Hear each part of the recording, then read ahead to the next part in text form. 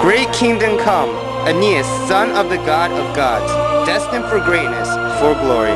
The seeds he has brought into this world will come to be the founders of one of the most glorious empires known to man. It shall be named Rome, and it shall be signified with triumph and glory throughout history.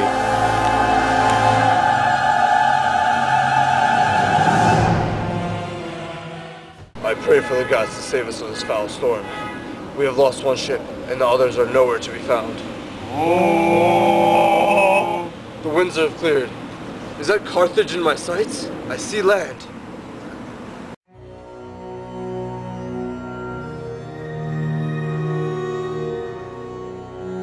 What is happening to my son? Why has his fortune gone awry? Who is to blame for the struggles of Aeneas and the sea? Do not worry, my dear, for it is his fate to bring about the great founders of Rome.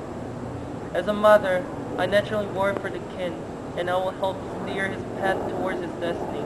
Shall be informed to meet with Dido.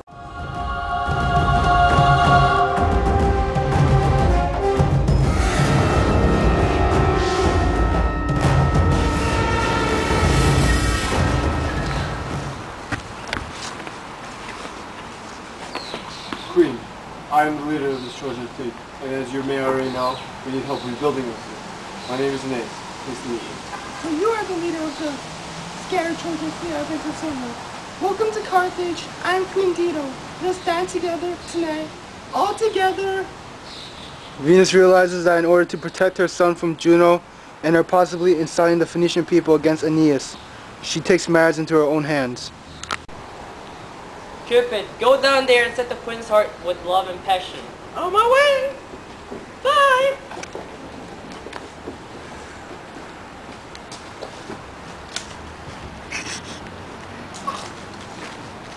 Oh, Aeneas, tell me more about your epic journey.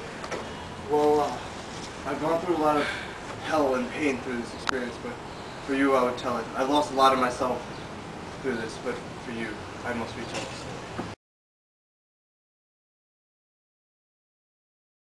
Ten years ago, Danaans have constructed a giant wooden horse with a hollow belly. They secretly hide their best soldiers fully armed within the horse, while the rest of the Greek army lies low some distance from Troy. The sight of a massive horse standing before the gates on an apparently deserted battlefield baffles the Trojans. Sinon opens the horse's belly, releasing the Greek soldiers.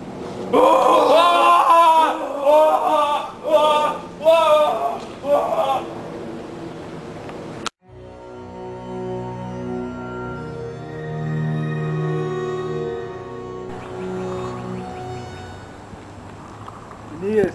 Aeneas! The city has been infiltrated by the Greeks! Wake up! No, this is not happening.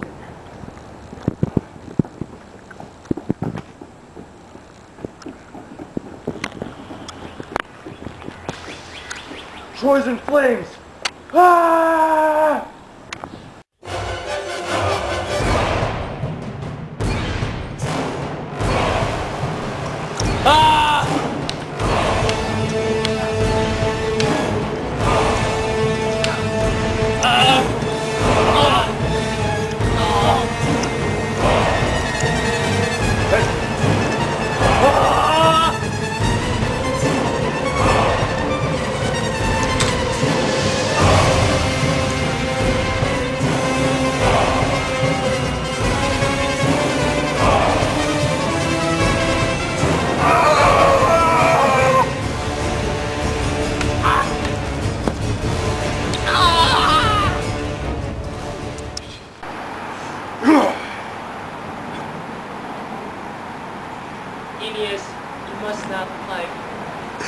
Is elsewhere.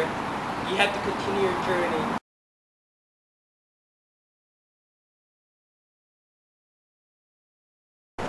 Soon after all that Trojan fighting, I went to Crete. I believed it was my fate to rebuild the city there.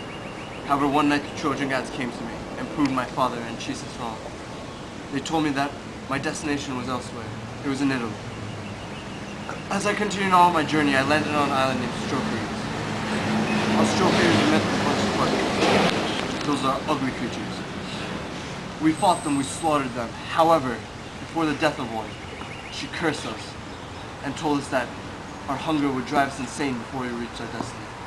She told us that we would have to nibble at the edges of our tables until our destination.